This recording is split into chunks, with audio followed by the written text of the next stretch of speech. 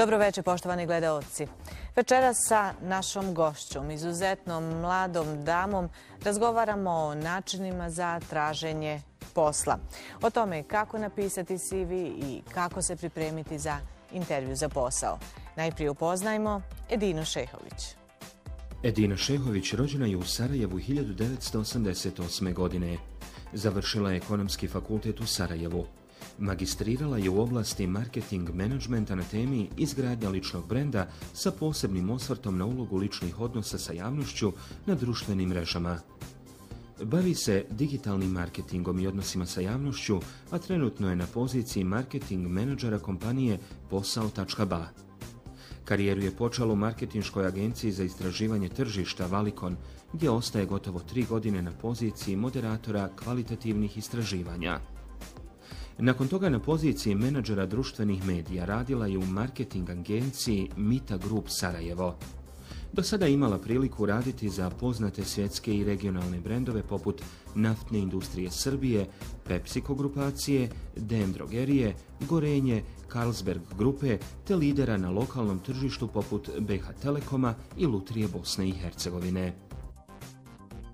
Dobro večer i dobrodošli u naš studiju. Dobro večer i bolje vas našla. Odmah na početku i vas ću pitati kao i sve goste, e, kakva je vaša percepcija, odnosno mjera uspjeha? Što je za vas uspjeh? Ja bih to malo preformulisala u smislu da e, posmatramo šta je to potrebno za uspjeh mladog čovjeka u Bosni i Hercegovini koji je recimo na, e, u toj nekoj prvoj fazi traženja posla, prvog zaposlenja ili promjene trenutnog posla tu moramo posmatrati više faktora. Prije svega, dakle, situaciju i realne pokazatelje dakle, na tržištu rada Bosne i Hercegovine, gdje um, vi imate vrlo mali broj raspoloživih radnih mjesta, na vrlo veliki broj uh, već produciranih kadrova koji čekaju dakle, svoje zaposlenje na tržištu. Um, ono što bih ja prije svega istekla kao bitno, a to je možda poruka mladim ljudima da trebaju sagledati realno stanje, dakle da po izlasku sa fakulteta uh, nemaju prevelika očekivanja, prije svega u smislu da im država duguje bilo šta, pa čak i pronalazak uh, zaposlenja. U realnim okolnostima, u uređenim Eh, sredinama, dakle, to bi zaista možda trebalo biti tako. Međutim, mi živimo u takvom okruženju gdje su mladi ljudi, nažalost, prepušteni sami sebi, gdje nemaju neki sistem koji stoji iza njih i koji će se pobrinuti da eh, taj neki prelaz eh, sa fakulteta ili bilo koje obrazovne institucije iz koje izlaze, da taj prelaz na radno mjesto bude što bezbolniji. Veliki broj mladih ljudi koji dakle, čekaju na radno mjesto i ono što moraju shvatiti jeste da to što su dobili diplomu zapravo ne znači da je tu završen dakle, sav njihov trud, dakle njihova borba tek počinje i ta diploma je zapravo samo ulaznica na um, to tržište rada.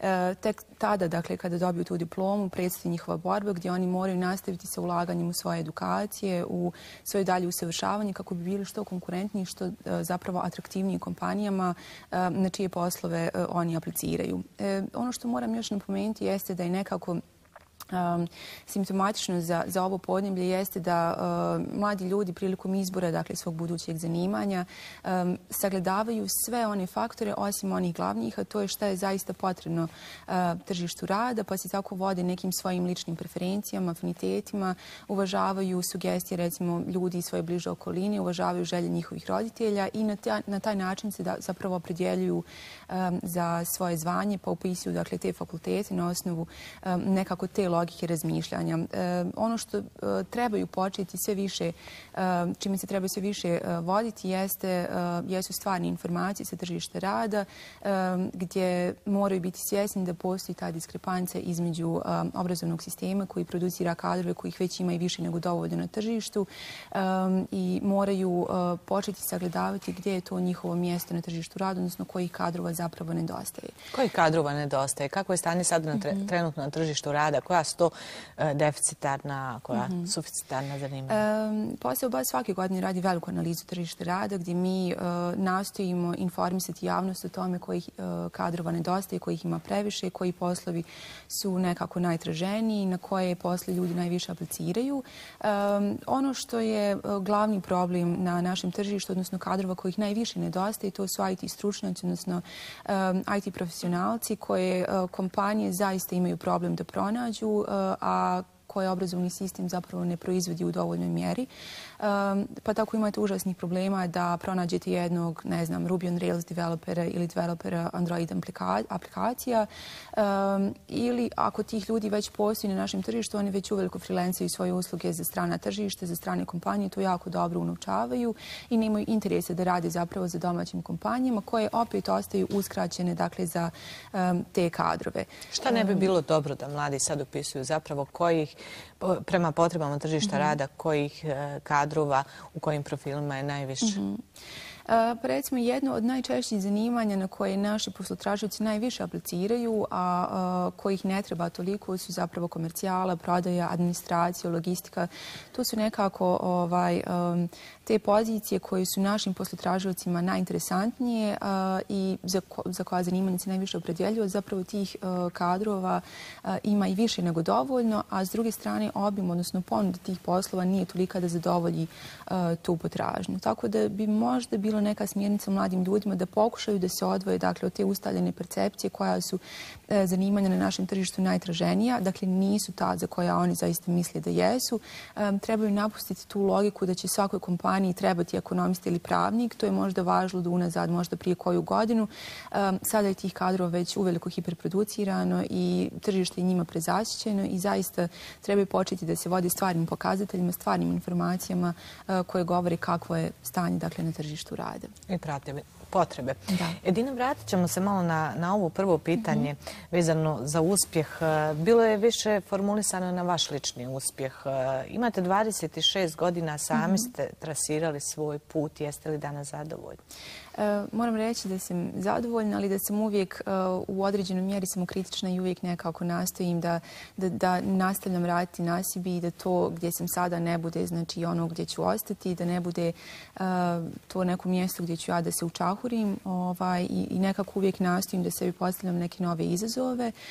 Ono što je možda meni olakšalo taj put ovaj, od završetka studija do pronalaska prvog zaposlenja jeste da sam već tokom studija nekako nastojala da konstantno um, radim uh, na, na, na svojoj edukaciji kroz uh, seminare koje recimo organizovao naš fakultet ili koje sam ja pronalazila u određenim obrazovnim institucijama, um, da konstantno pronalazim neke dodatne radionice, seminare, uh, da radim uporedu sa studijem na part-time osnovi, uh, pa čak i da volontiram, jer su to sve nekako uh, bodovi koji su se dodavali u moju biografiju onog momenta kad sam ja izašla iz, uh, sa fakulteta, kada sam došla sa tom diplomom i počela dakle, slati svoju biografiju na um, oglase za posao. Dakle, to je ono što je zapravo možda mene odvojilo od masi ostalih kandidata koji su možda tokom studija se samo bazirali dakle, na upravo dakle, to studiranje i po završetku su imali samo tu diplomu koju su mogli da ovaj, uz svoju aplikaciju na posao. Kada mladi ljudi dođu do faze da traže posao, prve greške koje prave E, su kod pisanja CV-a. E, možemo li na početku da nam pojasnite što je zapravo CV i što on treba da sadrži? E, dakle, CV, odnosno biografija, je vaša lična karta e, koja govori osnovne informacije o vama, potencijalnom poslodavcu kod kojeg vi aplicirate. E, biografija treba da sadrži dakle, osnovne neke natuknice o vašem prethodnom profesionalnom radnom iskustvu, o vašem obrazovanju, o vještinama koje posjedujete, odnosno na prvi pogled treba dati poslodavcu uvid koliko vi zapravo odgovarate opisu posla na koji aplicirate. Ono što treba trebate imati na umu jeste da e, prije bilo, bilo čega što, što ćete staviti u tu biografiju, trebate imati na umu da e, vizualni kontakt e, te biografije sa potencijalnim poslodavcem može biti zapravo i eliminatoran. Bez obzira na to koliko dobro radno iskustvo vi imali, bez obzira na to koliko bogate do edukacije, seminare vi zapravo imali iza sebe, ukoliko ta biografija nije posložena kako treba, ako nije u formatu koji je jedan od međunarodno propisanih formata i ukoliko na prvi pogled se naziru neke pravopisne, odnosno gramatičke greške, to je zapravo ono što će vas diskvalificirati i umanjiti vam šansu zapravo da dođete do tog posla. Um, ono što zapravo većina poslodavaca uh, gleda kada već uh, krene skenirati dakle, vašu biografiju, to je dakle, e, uh, prijetvodno radno iskustvo. I tu uh, se zapravo mladi ljudi koji nemaju radno iskustvo često besrabre, uh, misleći da zapravo nemaju tu ništa da stave. Um, svakako da imaju staviti um, bilo kakvo volontersko iskustvo, bilo kakvo iskustvo na honorarnim poslovima, pa čak i ukoliko ti poslovi nisu bili direktno vezani za poziciju na koju vi aplicirate, sve to zapravo vama, o vama govori da niste osoba koja stagnira, da ste neko ko je proaktivan i da ste neko ko ne gubi vrijeme. I sve te stavke se zapravo broje i sve te stavke možete zapravo staviti na tu poziciju prethodnog radnog iskustva i 45% poslodavaca zapravo fokus stavlja upravo na taj dio vaše biografije fotografije. Dalje slijedi kvalifikacijske vještine eh, gdje poslodavac zapravo želi da vidi koliko vaše stvarne praktične vještine i znanje odgovaraju eh, opisu posla koji, odnosno pozicije koje on želi da zatvori. I tu nastojite biti prije svega iskreni, prije svega da iskreno napišete onako kako zaista jeste, dakle da ne izmišljate vještine koje ne posjedujete čisto da biste se što bolje uklopili u opisanom eh, poslu. E, dakle, mladi ljudi, odnosno osobe koji su potrazi za poslom ili žele promijeniti postojeći, trebaju također obratiti pažnju na kvalifikacije i vještine koje unose u svoju biografiju, truti se da tu budu što objektivniji, što realniji i da zaista prikažu onako kako zaista jeste, odnosno da ne unose u biografiju one vještine e, koje ne posjeduju, a za koje misle da bi se idealno uklapale dakle, u, opisani, um, u opisanu dakle, poziciju na koju apliciraju. Uh, kad tad dakle, to će sve doći do izražaja, um, tim prije što što e, na svaku poziciju dakle, na koju aplicirate i na koju budete primljeni, vi imate probni dio, e, dakle, probni period e, gdje se zaista pokazuje ono što vi zaista znate i tu dolazi do izražaja dakle, vaš kredibilitet, odnosno koliko je ono što ste napisali u svojoj biografiji zaista um, um, odgovarajuće realnom stanju stvari. I koliko treba izbjeći stereotipne riječi i fraze, jer prema jednom američkom istraživanju pokazalo se da termini i riječi kao što su vrijedan, timski igrač, igrač e, motiviran, treba zapravo izbjegavati jer, e, jer predstavljaju najčešće samo fraze. Da. E, tu treba biti posebno obazriv iz razloga što e, zaista postoje te određeni, e, određene kliše faze, fraze koje se ovaj, nekako jako često pojavljuju e, prilikom pisanja biografija. E, ono što ja moram reći jeste da je kod nas trend da BH kompanije sve više počinju zapravo tražiti takozvani soft skills, gdje je do sada recimo bio slučaj da e, kompanije e, obavezno potražuju ne znam, poznavanje rada na računaru, engleskog jezika, vozačku dozvolu, ali e, unazad godinu ili dvije počeli su se tu pojavljivati neke druge vještine kao što je recimo komunikativnost, kao što su pregovaračke vještine, kao što je sposobnost rada u timu.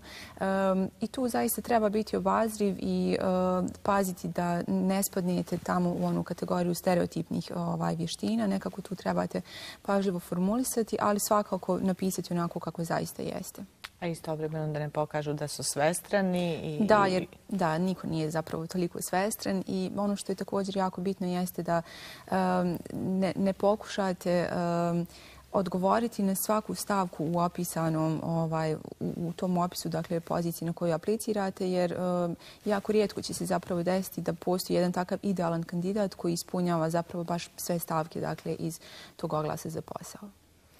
Vrlo je bitno da CV bude pre, pregledan 25% prema. Da, tu se možemo dovezati na ovo što sam prethodno e, spomenula, to je da zapravo taj vizualni kontakt je prvi kontakt koji poslodavac ima sa e, vašom biografijom i ukoliko ta biografija nije koncipirana na pravi način, ukoliko nije u jednom od propisanih formata, ukoliko je to možda čak neka biografija koja je pisana rukom, sve su to stvari koje će vam zapravo umanjiti šansu i um, umanjiti atraktivnost vas kao kandidata za taj određeni posao na koji aplicirate i uh, potrudite se nekako da, um, dakle, ukoliko ste trenutno u fazi života gdje sastavljate tu biografiju, da um, istražite kako se to zapravo radi. Postoji uh, jako veliki broj pisane literature i na internetu ovaj, koji se može pronaći uh, u smislu savjeta za pisanje biografije i čisto uh, izbjegnite tu situaciju da sami sebi umanjite tu šansu ovaj, na, na tako nekim trivialnim ovaj, greškama kao što su um, vizualni, odnosno kao što kao što je preglednost dakle, biografije ili kao što su te gramatički i pravopisne greške. Dakle, to je nešto što zaista svako od nas može ovaj, izbići u startu i ovaj, izbići tu mogućnost da sami sebe na taj način diskvalifikujete. Ovdje sad moramo pomenuti kodeks oblačenja i uz te greške koje se prave u vizualnom dijelu mm -hmm. samog CV-a koji se često dostavlja i napisan olovkom ili hemijskom, a ne otkucan i uredno složen.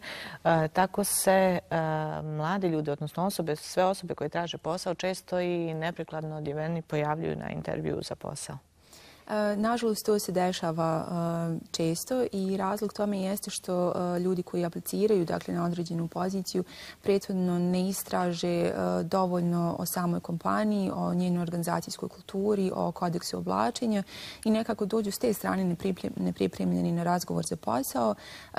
I desi se da čak njihova odjevna kombinacija u tom momentu odudara u cijelosti od kulture dakle, te organizacije. E, zbog toga je jako bitno da se u tim pripremnim e, koracima za razgovor za posao ljudi dakle e, informišu, odnosno mladi ljudi i poslotražavci generalno informišu kakve su pravila te kompanije, kakva kultura vlada u toj kompaniji, da istraže neke osnovne dakle, informacije koje se mogu pronaći na konkretno web stranici recimo te kompanije. Obično web, web stranice sadrže i fotografije dakle unutrašnjosti tih kompanija, njihovih uposlenika i na osnovu toga se može jako mnogo zaključiti o tome um, šta trebate recimo konkretno obući na taj razgovor za posao na koji idete.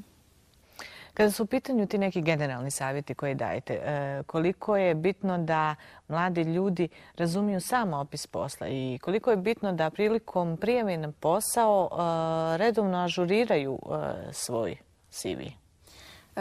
To je jedan od savjeta koji mi eh, kao jedna od agencija za zapošljavanje zapravo dajemo eh, svima koji nam se obrati za savjet kako napisati biografiju, eh, kako generalno tražiti posao. Dakle, to su neke neizostavne stavke ovaj, ukoliko želite da taj proces traženja posla bude što uspješniji. Prije svega jako je bitno da konstantno žurirate svoju biografiju kako E, jednostavno u momentu kada predajete tu biografiju na e, poziciju na koju aplicirate, ta biografija sadrži e, sva do tada skupljena profesionalna iskustva i znanja koja ste stekli i kako bi ta biografija bila što ažuriranija i što validnija u tom datom momentu. Također, ono što je bitno jeste da uključite preporuke, bez obzira dakle, da li su to preporuke vašeg profesora, vašeg mentora, vašeg bivšeg šefa, radnog kolege s kojim ste radili na projektu. Dakle, bilo ko ko može potvrditi dakle, da su te vještine koje ste vi naveli zaista stvarne i ko može potvrditi da je rad s vama zaista onakav kakvim se vi predstavljate u biografiji E, koju dostavljate. E, bitno je da razumijete i opis posla e, kako biste tu biografiju sastavili što prilagođenije dakle, poziciji na koju aplicirate. Nažalost, nerijetko se dešava da mladi ljudi vjerovatno iz te želje da pronađu posao, počinju aplicirati na različite pozicije koje su potpuno dakle, različite jedne od druge i šalju dakle, svoje biografije različitim kompanijama na različite pozicije i onda vi imate jednu osobu koja se pojavlja u bazi a koja je aplicirala na toliko različite pozicije da vi još niste u mogućnosti razlučiti šta zaista ta osoba zna raditi. Kada nema kvalifikacija, prijavljuje se na mhm. takvu vrstu posla, možemo li to tretirati kao neku vrstu hrabrosti ili pa kočaja? Um, imajući u vidu uh, situaciju na tržištu rada naše zemlje, uh, nažalost, uh, to je više neki potez iz očaja ali imati mladih ljudi koji su jednostavno dovoljno hrabri da smatraju da su dovoljno sposobni da mogu da odgovore na različite izazove koje nude različite pozicije ili možda sebi još uvijek nisu dovoljno profilisali u tom smislu, pa nekako idu na tu kartu da tamo gdje budu primljeni, tu će nekako i početi da se usavršavaju, tako da imate tu različitih nekih faktora, ali recimo da može biti jedno i drugo. Koji bi to bili korisni savjeti e, za ljude koji čekaju posao? U vrijeme dok čekaju posao, što je to što, čime bi se oni trebali baviti? Svakako da e, taj proces traženja posla može biti dugotrajan, može trajati neka čak i nažalost po nekoliko godina, ali to svakako ne treba biti obeshrabrujuće i ne treba biti znak da taj mladi čovjek treba zaustaviti apsolutno sve aktivnosti u smislu rada na sebi, u smislu dakle, e, poboljšanja postojećih vještina ili e, sticanja nekih novih. Jasno je da ne mogu svi odmah dobiti dakle, ponudu za posao, da ne mogu svi odmah početi da radi, da će taj proces malo potrajati, ali ono što se može raditi umeđu vremenu jeste zapravo čitav spektar različitih aktivnosti. E, prije svega, dakle, možete pohađati različite kurseve, različite edukacije. Jako je mnogo ustanova koje obezbijeđuju besplatne edukacije na koje se možete odlučiti, ali isto tako e, u doba moderne tehnologije vi imate jako mnogo dostupne literature e, na internetu koju možete iščitavati iz različitih oblasti, bez obzira šta je vaše dakle, E, polje zanimanja. I ono što je jako bitno, što bih ja e, navela, jeste da e, mladi ljudi u Bosni i Hercegovini i svi koji traže posao ne podcijenju dakle, tu moć networkinga, odnosno umrežavanja, jer ako vi proširite tu informaciju da tražite posao kroz mrežu svojih poznanika, sigurno neko ko će čuti da određena kompanija potraži nekoga ko je sličan vašem profilu, da će obavijestiti ili vas ili će vas preporučiti toj kompaniji koja će vas kontaktirati i ovaj, na taj način vas e, uzeti u razmatranje.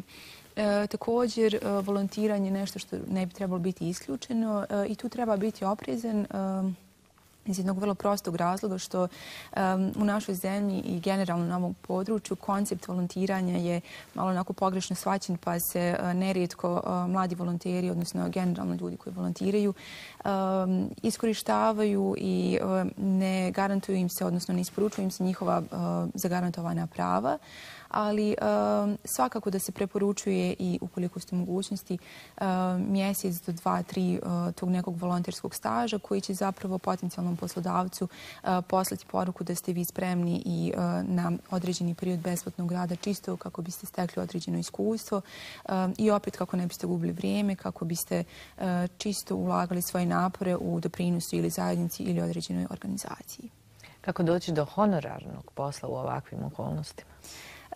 Postoji nekoliko načina kako se to radi. Prije svega opet proširite dakle, vijest među svojim poznanicima da ste spremni dakle, volontirati, da, ste, da želite pronaći honorarni posao i opet ako neko čuje svakako da će vas obavijestiti. To je nešto što je vrlo onako trivialno, a što ljudi često zanemaruju dakle, u, u tom nekom procesu ovaj, pronalaska čak i honorarnog zaposlenja.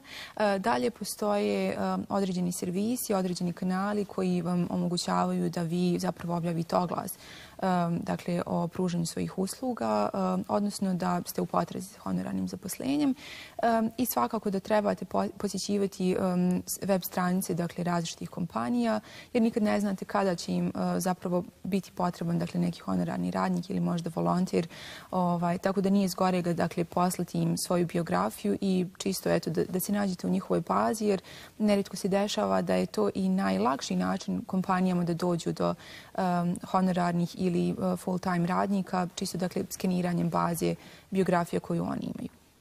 Govorili smo o CV-u, o pisanju CV-a. Mhm. Mnogi nezaposleni upravo zbog uh, lošeg CV-a i loše napisanog ne dobijaju priliku za intervju za posao. -hmm. Vratit ćemo se ponovo intervju za posao. Što očekivati kada dođe do tog trenutka? Uh -huh. Postoji nekoliko situacija koje vas mogu zadesiti kada već jednom dođete na razgovor za posao, odnosno postoji nekoliko vrsta intervjua sa kojima se možete susresti um, jednom već kada budete pozvani na razgovor za posao. Prije svega najčešća situacija jeste razgovor jedan na jedan gdje vi imate e, um, menadžer ljudskih resursa koji um, dakle, razgovara sa vama i želi da provjeri dakle, koje kompetencije posjedujete, kako su vaša prijetna radna iskustva i koliko zapravo vi odgovarate uh, kulturi eh, te kompanije eh, na čiju poziciju ste aplicirali. Eh, također, ono što može da se desi jeste panel intervju, odnosno panel diskusija gdje pored vas postoji i nekoliko drugih ovaj, kandidata gdje vi zajedno diskutujete na određenu temu i gdje se zapravo testiraju vaše komunikacijske sposobnosti, vaše poznavanje određene dakle, materije, odnosno gdje se provjerava koliko ste upoznati sa poljem pozicije dakle, na koju ste aplicirali. Um, također tu e, možete očekivati i grupni intervju. Recimo, e, nerijetko kada imate raspisane oglase za posao koji potražuju recimo um, aviokompanije gdje traže recimo kabinsko osoblje ili veliki broj dakle uposlenika. Obično se organizuje neki manji sajem zapošljavanja i grupni intervju gdje se na vrlo brz i efikasan način zapravo intervjuiše veliki broj kandidata za e, veliki broj pozicija. Isto tako možete očekivati telefonski intervju koji nekim kandidatima može čak i biti najlakša varijanta iz razloga što E, izbjegavaju taj neki e, kontakt uživo sa e, osobom koja vodi intervju sa vama i jako je bitno da u tom momentu čisto imate spremnu biografiju pored sebe, tako da možete vrlo adekvatno odgovoriti na sve upite koje taj potencijalni intervjuer može imati ovaj, prema vama. I ono što je najbitnije jeste da u bilo kojoj od ovih situacija nekako um, obraćate pažnju na tu komponentu stresa i da pokušate umanjiti dakle, uh, taj nivo stresa uh, na način uh, što ćete se pripremiti prije dakle, samog intervjua uh, na način koji smo malo prije spominjali. Dakle, da istražite sve o kompaniji, da se informišete o opisu posla, da provjerite koliko zaista vaše kompetencije odgovaraju tom um, poslu i na taj način nekako već dođete spremni i um, koliko toliko dakle, sebi olakšate olakšate dakle, taj e, proces samog razgovora za e, posao. Jedina, koji su vaše planove za naredni period? E, obzirom na polje koje sam ja odabrala, polje zanimanja, to je prije svega digitalni marketing, dakle online komunikacije. To je zapravo jedna branša koja je nekako e, tek unazad nekoliko godina zaživjela kod nas. Poprilično je mlada branša u našoj zemlji i to je zapravo profesija koja eh, je vrlo dinamična i jedno polje koje se jako brzo mijenja, tako da stalne edukacije, seminari i certifikacije kroz koje prolazimo generalno kao menadžeri društvenih mreža i digitalni e, menadžeri. E, zapravo, e, to je nešto što će biti fokus nekako u narednom periodu i mene same i nekako nastojanje da pokušam to, to, to svoje polje zanimanja povezati sa putovanjima, a na svu sreću do sada sam imala dakle, prilike da to bude usko nekako povezano. Tako da, eto, to su nekako ta dva polja koja će biti u mom fokusu u narednom periodu. Hvala vam što ste bili gošća emisije Recept za uspjeh i podijelili s nama ove korisne savjete. Hvala i vama na poziv. Večera smo, poštovani gledatelji, govorili o tržištu rada, načinima e, kako napisati CV, kako zapravo naučiti i steći nove vještine, prekvalifikovati se, ne stajati i ne čekati, već poduzeti nešto za sebe. Naša gošća bila je Edina Šehović. Hvala vam za pažnju i budite sa nama iduće srijede u isto vrijeme.